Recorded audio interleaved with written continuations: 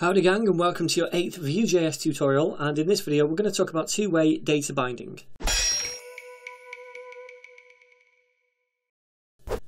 Okay, so in the last tutorial we've already looked at key up events on these input fields. Now I just want to get rid of these modifiers for the sake of this video because we're going to talk about two-way data binding. So now imagine that around about here if we had say a span tag underneath this we want to output the name, right?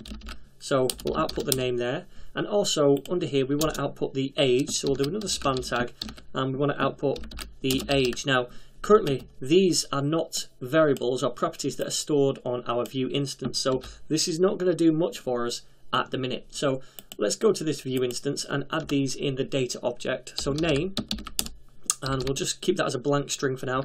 And also age, we'll keep that as a blank string as well. Okay, so what we want to happen is for when a user inputs something in here, this updates with what the user enters for the name, right? So we'll do that now. Instead of logging this to the console, what we'll do is we'll get rid of that. And what we'll do is update the name and the age properties, right? So we can say this dot name is equal to whatever this is equal to right here, right? But instead of reaching in and grabbing this input field and returning it here and updating the name this way, this is a little bit long-winded. Instead, what we can use is two-way data binding using the v-model directive, right? So forget all this, forget I even spoke, and instead what we're going to do is attach v-model to this and this. So we can get rid of this event if you like, and we can get rid of this event, and instead we can say v-model is equal to whatever variable or property we want to attach this value, the value of this input to. So we can say v-model equals name, and that's going to attach it to this name property right here. And likewise down here, we can say v-model is equal to age, and that's going to attach this input field to this variable right here, this age one, right? So the way two-way data binding works is that when we enter something into this input field right here, Vue.js is going to look into that. It's going to pick up on that event that we've added something into this field.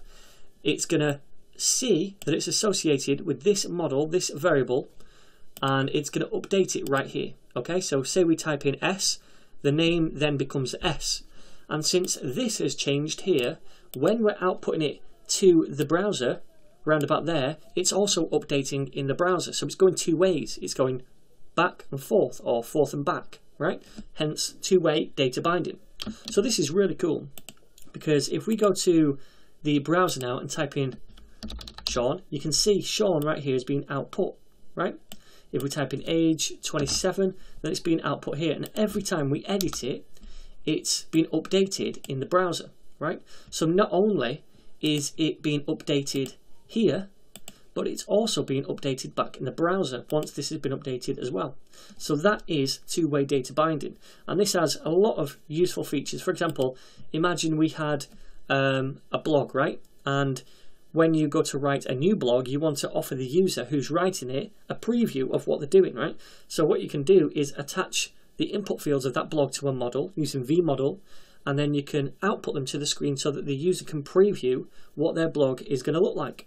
Pretty cool, right? And there's many more uses of this as well. And we're going to be using v-model and two-way data binding in other tutorials as we go forward.